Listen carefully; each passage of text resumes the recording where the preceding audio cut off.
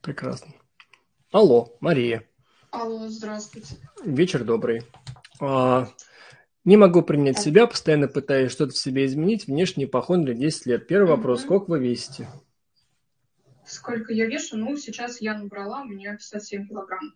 А обычно? До этого было 47-48. А рост какой? Метр семьдесят два где-то у меня рост. Худеете, полнеете? А, ну, вообще, вот последние где-то полгода, год, я набрала, ну, вот эти вот около 10 килограмм, где-то 8 где-то килограмм. А до этого я похудела очень сильно. То есть это где-то лет 10 назад я была 60 килограмм, и у меня это как-то постепенно начал ну, вес снижаться. То есть я там в институте, когда училась, у меня он вот дошел там до 50. А вы не ели или И- что? Нет, я ела, но вот как-то Вы нервничали или что? Мария? Вы пропали. сейчас слышно меня? Да, еще раз. А вы нервничали тогда или что происходило?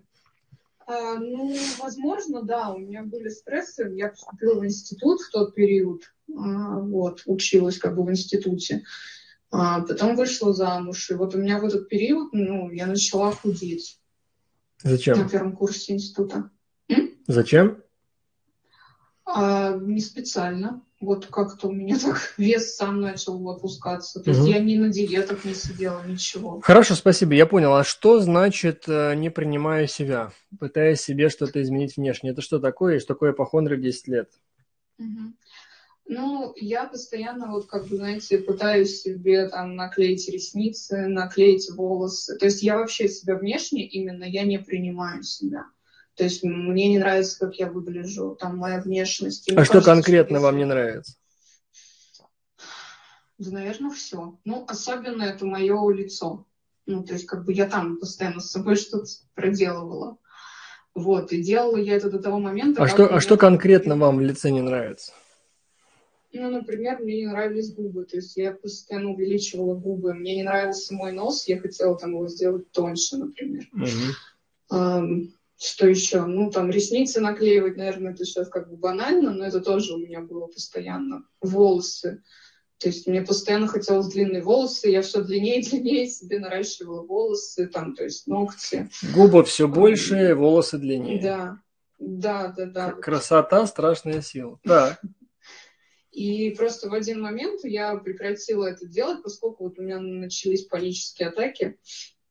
И там ну, куча фобий разных. Я боюсь лекарств, я боюсь уколов, я боюсь... Ну, у меня вот это пошла фобия, и, соответственно, я не могу теперь ничего колоть, потому что я боюсь шприцов. Как вам помогает ваша фобия? Ну, то есть, как бы, вот да, и теперь я, получается, банально даже не могу нормально в парикмахерскую сходить, там, покрасить волосы, потому что... Может быть, ваш организм вам подсказывает таким образом, что надо перестать это делать? Ну, я думала отчасти, что надо бы остановиться, наверное. Ну, Ну, желательно, как да. К какому-то идеалу я стремилась, что ли. Я, я не знаю, что это такое. У меня какая-то погоня за идеальной красотой. А где вы видели пример идеальной красоты, к которой вы стремитесь? Ну, наверное, это в соцсетях. Сейчас Инстаграм у нас пестрит такими лицами одинаковыми у девушек. И вы считаете, И- что это хорошо? Ну, как бы на сегодняшний день, наверное, я уже в этом плане, ну, не совсем считаю, что это ну, как-то красиво, да, но все равно иной раз хоч- хочется... А, А для чего? сделать Вы же замужем уже. А, Я в разводе. А вы когда были замужем и были удовлетворены, вы так себя вели? Да, я как раз начала это делать с мужем. У меня такой бзик пошел. А для чего вы Ну, начали это делать, когда вы вышли замуж, если, в принципе, можно было уже выдохнуть? Вы знаете, мне казалось, ну, это я так думаю на данный момент, да, что у меня муж просто такой человек был, эм, ну, то есть он в таких кругах общался, где очень красивые женщины, именно вот такой типаж кукол Барби, и мне, наверное, хотелось им соответствовать, ну, скорее всего, и я вот начала им подражать, наверное, как-то вот. С целью какой? Наверное, чтобы муж не ушел от меня. Скорее Мгм. всего, так. Но, кажется, ваше поведение не увенчалось логическим успехом.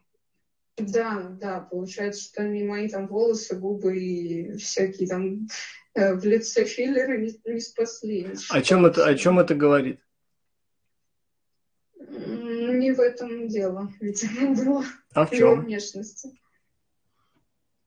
Значит, какой можно сделать вывод?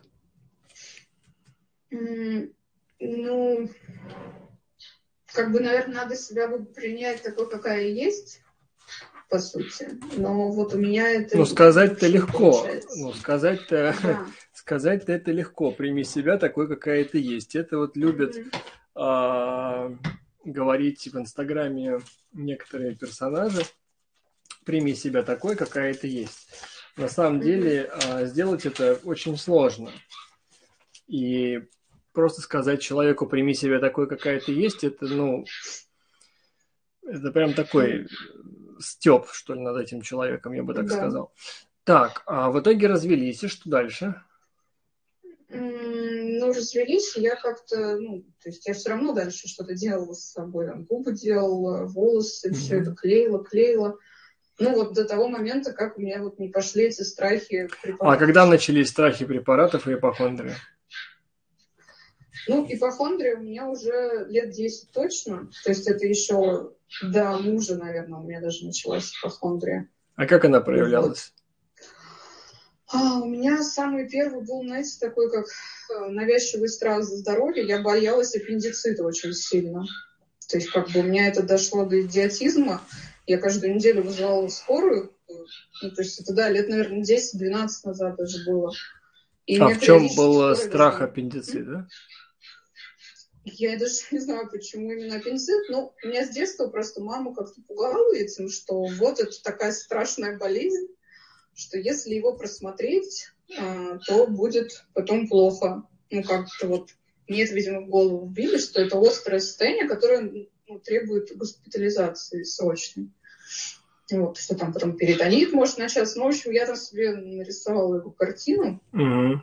И вот я вызывала себе скорую, ну, это в течение нескольких лет было у меня. Они меня ну, увезут, там посмотрят, отправят домой. И в итоге я так доигралась, что через, там, не помню, сколько лет прошло, мне сказали, что у меня аппендицит, как бы, в реальности, его надо вырезать.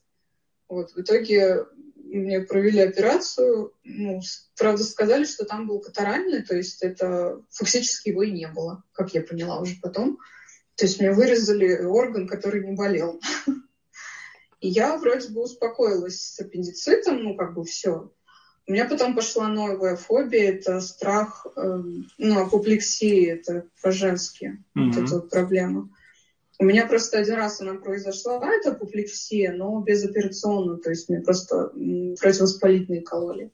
И у меня засел этот страх, то есть потом где-то года 3-4 я панически боялась этой апоплексии. Я ходила на УЗИ, а, там, не знаю, ну, раз в неделю, наверное, стабильно. У меня тут в доме медцентра. Понятно. А сейчас на что вы жалуетесь? Ну, у меня сейчас фобия это вот именно лекарств, я боюсь, препаратов. То есть я даже там антидепрессант, ну, успокоительные какие-то не могу банально выпить. Вот. То есть больше вот препараты как-то у меня страх вызывают. И, ну, как бы моя ипохондрия-то, она особо-то никуда не делась. То есть у меня там бывает кардиофобия периодически. На сегодняшний день на что вы жалуетесь? Да, чуть поконкретнее. А, ну, страх, наверное, лекарств принятия. Вот это вот. Это такое основное, потому что... Как вы с ним, я понял, как вы с этими, как вы с вашими фобиями работаете? Ну, касаемо вот лекарств, я сейчас мне прописали ну, успокоительное такое легкое. Я вот его по четвертинкам делю и вот так вот, ну, как бы по чуть-чуть пью. Ну, каждый раз я выпиваю. Нет, и при чем всегда здесь э, ваши четвертинки? Как вы работаете с фобиями? А, ну, в принципе, ну, никак, наверное. Вот. Ну, как-то я пытаюсь... Нет, подождите, объясните мне, как у вас должно что-то пройти, если вы не с этим не работаете? Ну, у меня была фобия, это, знаете, еще еды. То есть, как бы, да, я с ней, с ней проработала. То есть, я кушала все. Нет, это все понятно. А что, почему такая выборочная история? Тут э, копаю, тут не копаю. Ну вот с лекарствами я не могу никак это проработать. А в чем проблема? Не знаю. Начать вот... пить лекарства, например, теми же дробными порциями. Ну вот да, я сейчас стараюсь пить по там маленьким Но дозам, проблема в том, что эта фобия не устраняется без э, приема лекарств. Mm. Эта фобия чисто поведенческая во-первых. Mm-hmm. Во-вторых, а, помимо этого, нужно еще будет работать над основной проблемой. Потому что сначала мы возвращаем именно конструкцию фобического избегания, где вы берете, mm-hmm. делите таблетку на четвертинку, mm-hmm. и четыре части таблетки выпиваете с разницей в 20 минут. Mm-hmm. Вот, так каждый день. После того, как вы сможете а, освоить все препараты, вам уже будет проще. Но это такая, э, так сказать, социальная, что ли, проблема, которая решается. Но она не решает, так сказать, основной запрос. Потому что что ваша дисморфофобия э, неадекватная с губами и волосами, mm-hmm. что ваша ипохондрия, оно говорит не о том, не о проблеме а, лекарств и не о проблеме другой. Она говорит о проблеме гораздо более такой серьезный с точки зрения восприятия вообще себя. А что вы вообще о себе думаете? Ну, у меня с уверенностью в себе проблемы большие. Mm. Что как бы я там, ну, не знаю, никому не нужна, наверное, неудачница, но что-то вот такое у меня идет. Mm. А на чем это основан вывод? Ну, даже не знаю, вот просто у меня в голове сидит, что у всех все так хорошо, ну, у моих друзей, у всех, кто так здорово складывается, там все женятся, заводят детей, развиваются, а я что-то вот, ну, по крайней мере, еще и села вот в этот невроз как бы сильно.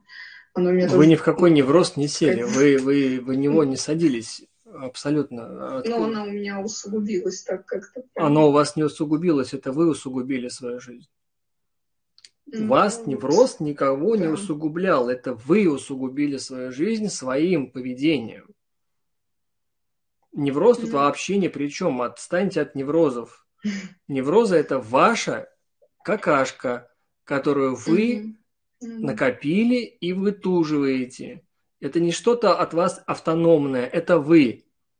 Ваш невроз – это вы, день за днем. Это не какая-то самостоятельная проблема, которая на вас напала. Это ваш личный выбор и восприятие. А, вопрос, на основании чего вы считаете, что вас нельзя любить и вам надо соответствовать чему-то, чтобы вас полюбили?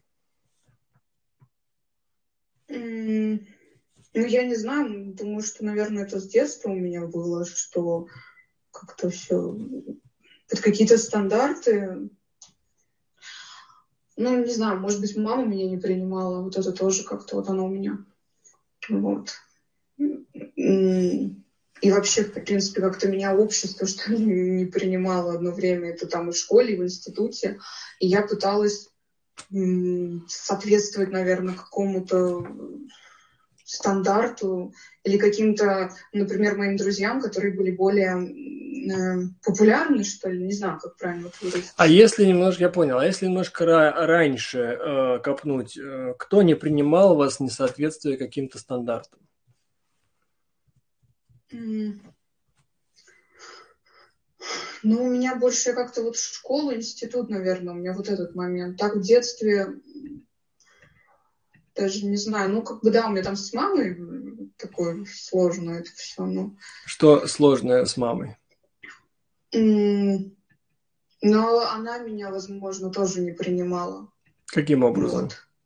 Ну, например, там она могла мне в детстве сказать там раз, что ты знаешь, ты на меня не похожа вообще, говорит, ты непонятно тебя в детском доме, ой, это как он, господи, в роддоме тебя подменили, что ли, мне. Ну, какие-то такие моменты могла мне говорить. Mm-hmm. Вот. А папа, то есть, ну, папа вообще не участвовал в нашей жизни, он с нами прожил там до 13 лет, а потом ушел в другую семью, и он никогда не участвовал даже там ни в воспитании, даже на меня внимания не обращал, когда он жил с нами. Mm-hmm. Там своей жизнью жил. В соседней комнате, по сути. А мама вот, хотя она говорит, что ты там была желанным ребенком, я хотела там, ну, чтобы ты родилась, то есть все вот. Но вот по какой-то причине у нее такое было, ну, отторжение, что ли, меня, я не знаю. А я вот заслуживала постоянно эту любовь, ну и вот...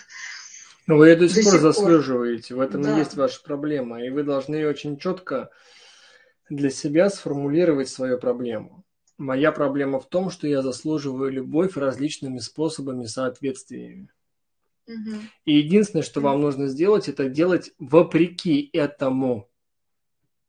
Пока вы будете продолжать заслуживать любовь через соответствие, эта проблема будет оставаться. Например, возьмем такую проблему, как РПП. Что анорексия, что булимия, mm это ваш случай. Поэтому я и начал наш разговор с веса. Потому что вы классический РППшник. Mm-hmm. Вот классический. С дисморфофобией, который то худеет, то полнеет, то худеет, то полнеет, потому что ей нужно соответствовать определенным стандартам. Потому что любить ее можно только по стандартам, а хер будешь соответствовать стандартам, ведь они такие сложные. Mm-hmm. И горе этих девочек заключается в том, что они искренне верят, что эти стандарты нужно соблюсти.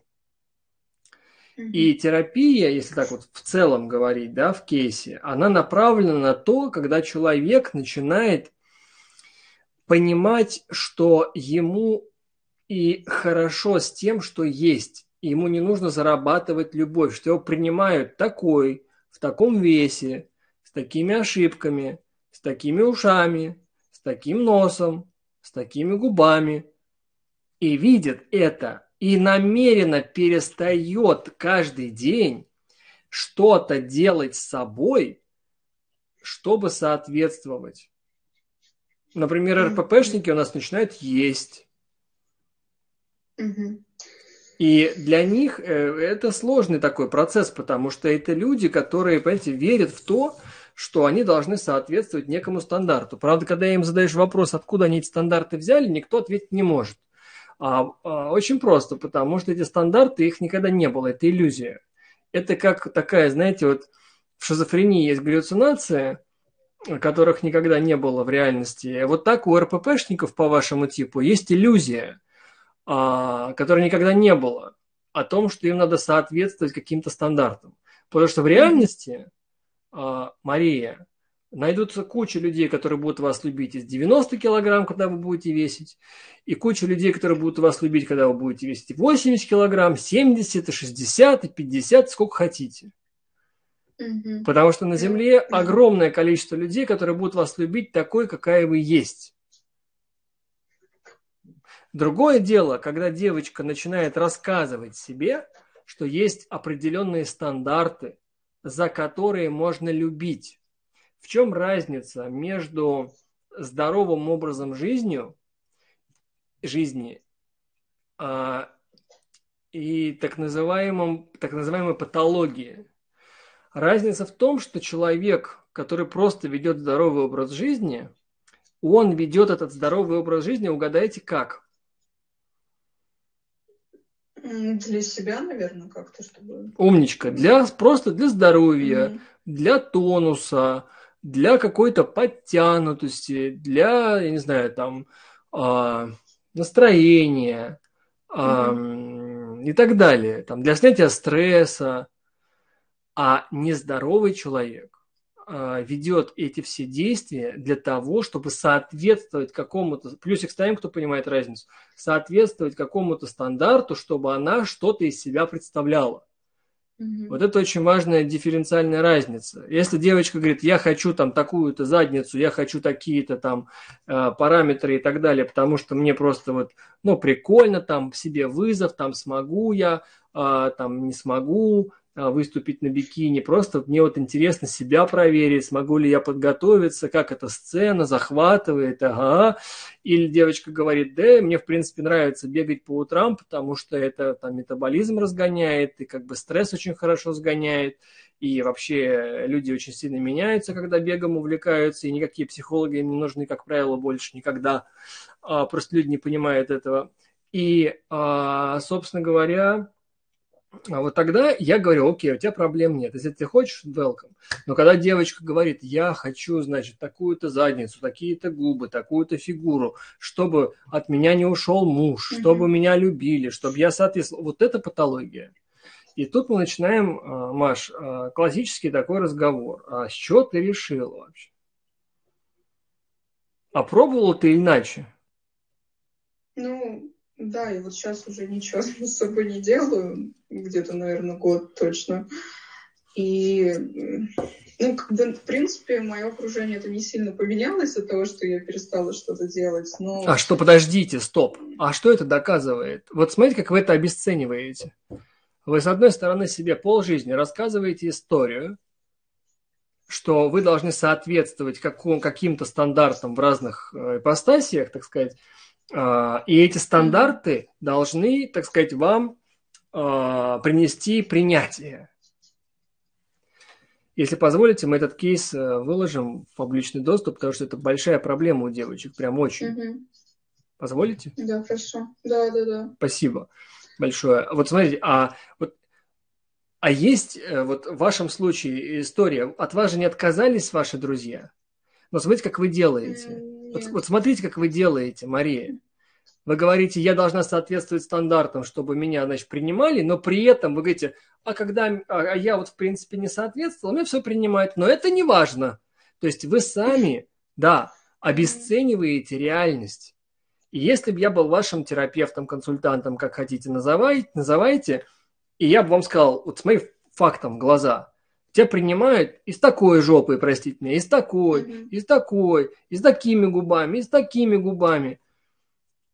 И вы, mm-hmm. и вы бы мне сказали, а, да, но как бы я не хочу на это а, обращать внимание. Тогда я бы вас призвал бы к ответственности. Да, потому что тогда возникает вопрос, а для чего тебе это непринятие? И мы сейчас переходим ко второму пласту нашего бигмага. А что тебе дает непринятие реальности? Вот слушай сейчас меня внимательно. Что тебе дает то, что ты не хочешь смотреть правде в глаза.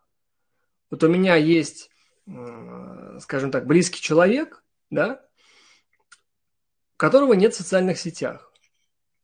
И а, к этому человеку подходит огромное количество людей и говорят, какая она красивая и как ее хотят пофотографировать огромное количество фото фотографов владельцы модельных агентств, блядь, сбиваются там с дара речи, чтобы только она работала с ними. А она искренне верит, что она некрасивая. Угу. Ну да, у меня тоже так. Вот, я, я, я, я же знаю... Я, да, я, да, я же знаю этот портрет. И у меня к тебе вопрос. А что тебе это дает? Вот ты видишь, что, например, там 10 мужиков, не сговариваясь, сказали, Маш, Жопа – огонь. Что тебе дает то, что ты им не веришь? Не знаю, может быть, ну это вот именно неуверенность в себе, что ли? Нет, что тебе дает сам факт того, что ты игнорируешь реальность? Ты им не веришь, что они обманывают, думаешь? Я почему-то больше на негативе зацикливаюсь, вот я замечала. То есть на плохих каких-то мне просто периодически там говорил там муж, вот тебе там грудь увеличить и так далее. Ну, были такие разговоры. Слушай, у каждой, у каждой семьи есть какие-то разговоры про грудь. Это, не, это тебя не оправдывает. А, дело не в этом, а ты про член ему можешь сказать тоже, да, когда он тебе про грудь. Вот. А я не смогла. Ну так, вот, я, я не могла его обидеть. Видите, мне его жалко было, он может такое сказать. Ну, будешь знать теперь. Значит. А, а это, кстати, вот жесткий разговор был бы, но очень искренний. Ты меня не принимаешь такой, какая я есть, но как бы угу. Давай тогда я тоже тебе скажу, что мне не нравится. Попробуй это изменить. Как оно тебе? Он обидится, угу. потому что тебе не нравится то, какой он есть. А почему ты не должна обидеться? А мне, видимо, не знаю, наверное, нельзя. У меня просто несколько раз там мужчины, с которыми я ну, встречалась, они мне делали такие замечания какие-то. Ну, не то, что я там какая-то ужасная, безобразная, но что вот тебе бы тут так делать, и там так Слушай, мне делают замечания люди и девушки, что я какой-то не такой. И любым моим знакомым делают замечания и так далее и тому подобное. В этом, ну, в этом на самом деле проблемы нет. Проблема в том, что ты видишь негатив, и ты к нему как-то mm-hmm. относишься. Так вот, я повторю вопрос. Что тебе это дает? Вот такое желание верить в то, что у тебя что-то не так. Давай я перефразирую вопрос, может быть, будет парафраз проще. А, а что было бы, если бы ты приняла себя такой, какая ты есть? Было бы здорово. Я бы, наверное, зависела так от чужого. Не-не-не, ты не поняла. Вот концептуально, а что было бы, если бы... Ну, было бы здорово, это понятно. Что бы изменилось? Что было бы, если бы ты себя приняла? Как бы тебе нужно было себя вести? Как бы ты жила? Что бы тебе надо было делать? Ну, проще жила бы. У меня не было, наверное, напряжения такого. Ты, я понимаю, но я не в этой концепции задаю вопрос. А, что бы ты вынуждена была делать и как бы ты вынуждена была жить, если бы ты приняла себя? Вот ты приняла себя, и как бы ты жила дальше? Что бы тебе нужно было делать? Тебе бы нужно было контактировать с людьми, да? Ну да. А кажется, с этим проблема. Угу. Не, не понимаешь, к чему я? Что дело не во внешности, Маша. Ты себе эту, такое, да. ты себе эту историю рассказала для того, чтобы не контачить с людьми. Да, да, социофобия. Да, да хватит себе диагнозы ставить. Слушай меня внимательно. Если бы тебя сейчас не выбрали на кейсе, был, ходила бы со своей жопой и губами. Дальше. И волосы. Волосы еще. Жопа, губы, волосы. Вот картина Репина. Жопа, губы и волосы ходят. Слушай меня дальше. Еще раз, это важно. И переслушивай этот кейс, девочки, внимательно. Значит, проблема не во внешности, и не в какой-то истории, что вот мне 10 человек сказали, что я красива, а я вот считаю, что не очень, не врут, врут. Дело, зайка, не в этом. А дело в том, что ты таким образом защищаешься от чего-то другого. Угу. Внимание, вопрос на такам. Вот к чему был мой вопрос, коллеги. Восклицательный знак, кто понял логику моего допроса, так сказать. А, так что же ты получаешь? Веря в то, что ты некрасивая, должна соответствовать.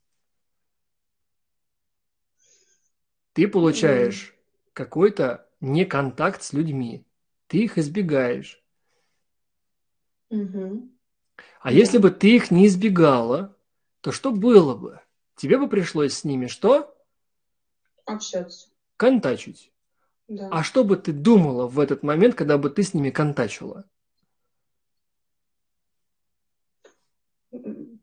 Что они обо мне думают? Я не знаю. Это я тебя ну, спрашиваю. Ну, наверное, да, у меня были всякие мысли такие, наверное. Значит, получается, логика следующая. Ты неуверенно себя чувствуешь по взаимодействию с людьми. Да. Потому что, есть, да. да, это и есть главное. Потому что угу. там есть какие-то на это якобы обоснования. Я неуверенно себя чувствую, контача с людьми, потому что я что-то не знаю, и это плохо, угу. что-то не умею, это плохо, я там не, не умеха какая-то, или я вообще там не могу поддержать разговор, угу. и если я им не понравлюсь, это плохо и ужасно, и вообще я много чего не знаю. И чтобы, ну там много может быть определений, за тебя не буду их натягивать, сама потом подумаешь. И угу. чтобы не контачить с людьми, люди выстраивают такую позицию из серии «я некрасивая» или «мне надо как-то соответствовать». То есть вот этот механизм ипохондрический, а, дисморфофобический, вот это вот неверование в то, что тебе друзья говорят, Маш, да нормально все, это, это вот защитный механизм для того, чтобы избежать чего-то самого главного. Это контакты с людьми. Поняла меня?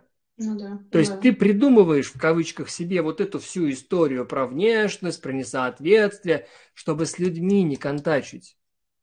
Твоя терапевтическая задача понять, а почему мне контачить с людьми так стрёмно? Отсеять, а, только отсеять нужно историю внешности.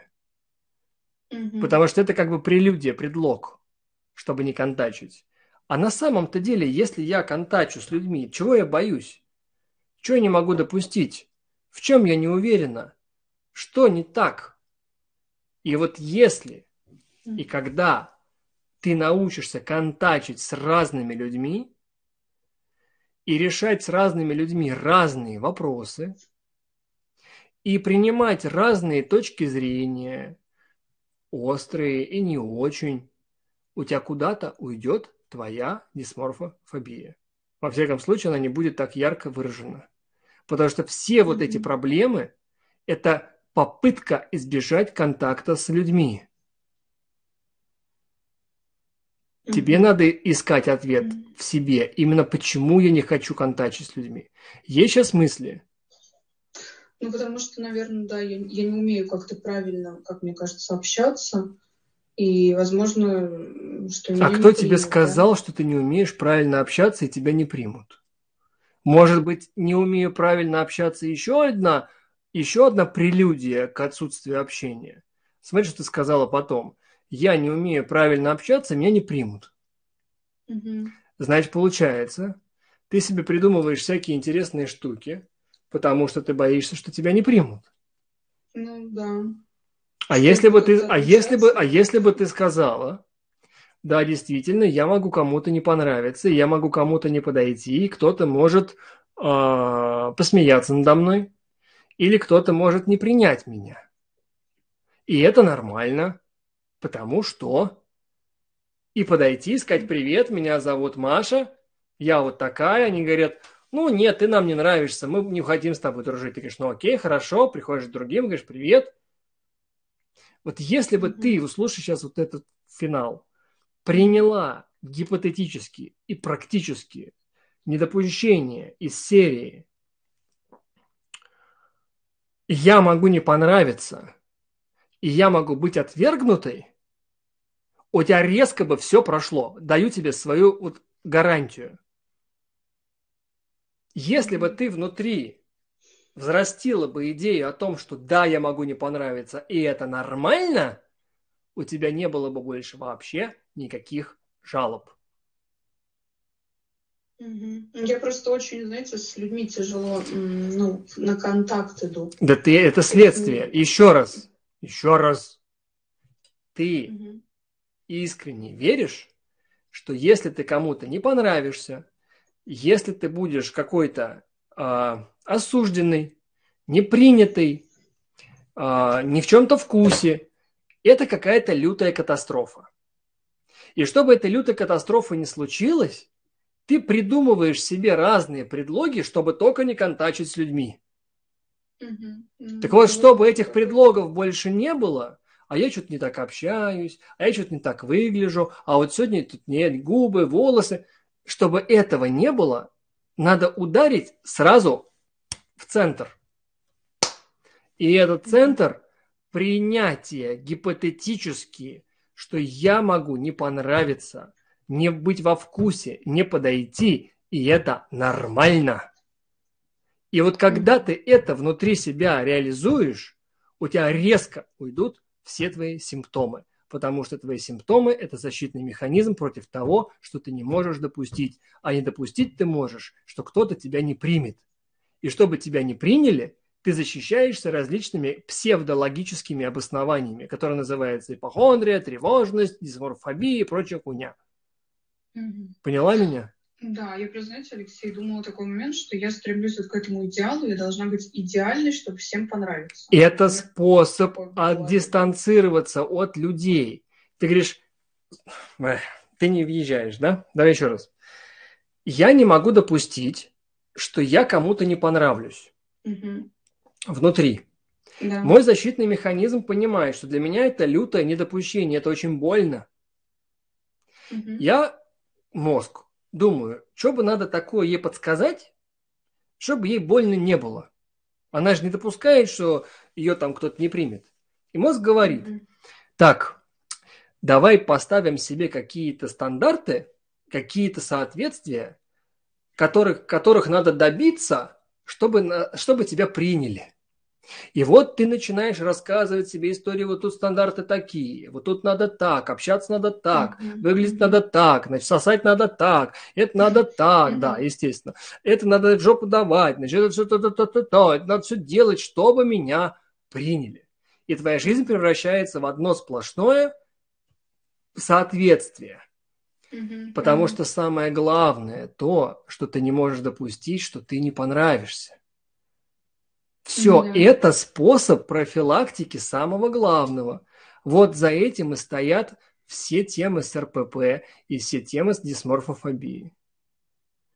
И как mm-hmm. только наши девочки, ну там большой комплексный подход, там и вопрос работы с ожирением, и там вопрос работы с дефицитами, там вопрос работы с паттерном пищевым, но параллельно-то, отрабатывая, если мы про РПП да, говорим, пищевой паттерн и работая с нутрициологом и так далее, и, может быть, смешанными, смежными врачами, мы, вот, ну, я как я, да, и Эльмира, моя коллега, мы все равно параллельно заводим с девочками именно эту тему. И я тебе могу сказать, что в 100 случаях из 100 это девочки, которые не могут допустить отвержения. И чтобы не почувствовать отвержение, они придумывают себе всякую шляпу. Из серии, как чему бы еще соответствовать. Угу. А именно поэтому не работает для них поведенческая экспозиция. Из серии «Давайте 100 мужиков рандомно позовем, спросим, что вы о ней думаете». И я тебе могу сказать, мы можем с тобой выйти на Тверскую, рандомно взять там 100 мужиков, и ты увидишь, что статистика на твоей стороне. Угу, а, думать, да, я да, ты все равно такая. будешь думать так, что ты какая-то не такая, потому что не про в этом проблема. А проблема в том, что если ты будешь с ними общаться, тебе будет страшно. Потому что ты не можешь допустить, что ты не в их вкусе, что ты что-то не так скажешь, пукнешь, еще что-нибудь сделаешь. Да, и контролирую, когда Естественно. Так вот, так услышь меня. Себя контролирую. Поставьте пять, пять, кто меня понял сейчас. Маш, ты меня услышала? Угу. Ну да, поняла. Своими ну, словами, так в чем же проблема? Мне нужно допустить, что меня могут не принять, отвергнуть. Так, а в чем фишка твоих симптомов, дисморфофобии вот этих стандартизирования себя? А, это как у меня защитный механизм, что я себе это придумываю для того, чтобы соответствовать ну, стандартам придуманным в моей голове. А все эти стандарты тебе нужны для того, чтобы избежать что? Э, избежать э, общения, контакта. А избежать общения для чего? Для того, чтобы э, вдруг меня отвергнут. Ну, вот этого, чтобы не испытать этого дискомфорта, возможно. Умничка. Теперь логическая угу. цепочка в голове сошлась? Да, я поняла, да. Пересматривай этот кейс, потому что, может быть, он чуть попозже зайдет еще раз и еще раз. Угу. И я угу. тебе даю гарантию, что если ты внутри придешь к философии, mm-hmm. что да, я могу не понравиться, да, я могу быть не во вкусе, да, я могу быть отвергнутый, да, я могу быть не принятый, да, я могу быть там, а, я не знаю, там не идеальный, mm-hmm. и это нормально, у тебя резко уйдет список соответствий, и ты будешь mm-hmm. наконец-то жить той жизнью, которой ты хотела. Поняла меня? Поняла, да. Успехов тебе. Все, спасибо большое. Не за что. До свидания. До свидания. Комментарий. У меня получилось, как мне кажется, вам показать э, вот такие фундаментально глубокие причины и следствия, как вообще невротический механизм работает. Есть некая глубинная, все вот это поняли, что я имел в виду все время по словам глубинное. Есть некое глубинное непринятие чего-то, Поняли, да? Вокруг которого наращиваются защитные псевдологические, фобические, избегающие формы взаимодействия. Это и есть то, что Фрейд назвал защитными механизмами. Поняли? Потому что эти механизмы, эта псевдологика защищает самое болезненное. И в нашем с Машей случае самое болезненное – это то, что она будет не в чем-то вкусе и будет отвергнута. И если мы в терапии в эту историю работаем, не надо больше работать с ее дисморфофобией. Она сама рассыпется за ненадобностью. Потому что ей не нужно будет соответствовать стандартам, если она может допустить, что она кому-то не понравится. Вот вам и вся терапия. И у меня вопрос ко многим вузам. Какой хуйней вы занимаетесь на ваших, сука, курсах? Вам не стыдно наебывать за сотни тысяч людей ваших, сука, студентов? Сколько можно заниматься той ахинеей, которой вы занимаетесь в ваших, мать его, учебных заведениях?